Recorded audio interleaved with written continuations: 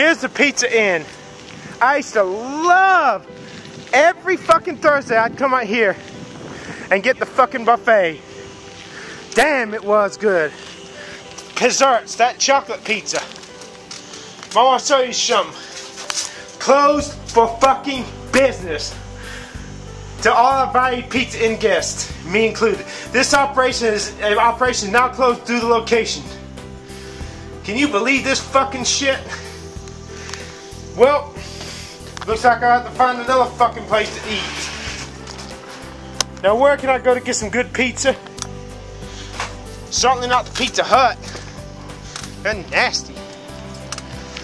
I heard someone telling a story one time how there was a cook, someone was in the bathroom and they heard him and he was taking the shit, they heard him they saw him come out of the stall, not wash his fucking hands, and next thing you know when they came out of the restroom, that same cook was fucking